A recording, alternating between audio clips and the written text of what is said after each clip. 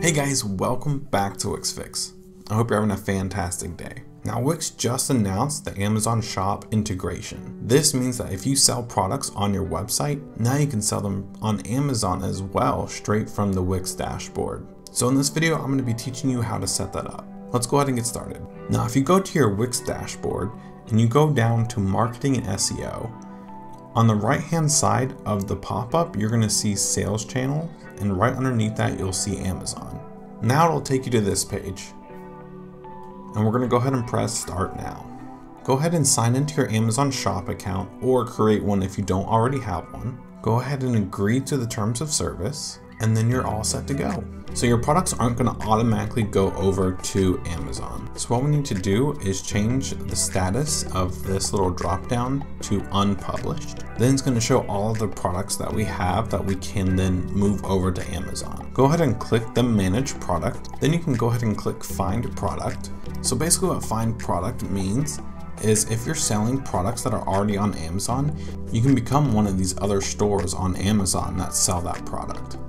Now, if you do not sell products that are already on Amazon and you create original products, then you can go ahead and press the create new Amazon listing down below and you can go ahead and fill out that information.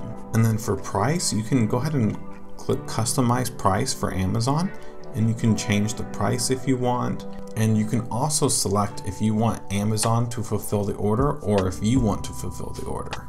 Now once that is done, go ahead and press publish and then go ahead and press accept and publish. Now Wix says it's going to take about 15 minutes for Amazon to actually accept your listing before it's actually live on Amazon. So just wait that 15 minutes and you should be good. Now if you're going to be fulfilling your own products, then what you can do is go over to store orders. Then you can choose more filters. You can go down the sales channels and select Amazon. This is going to show you all the orders that people have bought in your product through Amazon.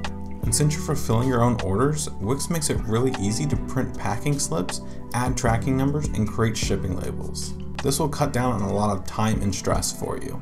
And then in the top right under more actions, you can mark it as fulfilled. You can send shipping confirmation emails, print order, or you can even cancel and refund the order completely. And then right underneath that, you will see an Amazon order number. And if you click the little icon to the right, it'll let you view the order on your Amazon shop. But that basically wraps it up for the video today. If you guys did learn something, please press that like button and consider subscribing for more Wix content coming out real soon. See you all in the next one.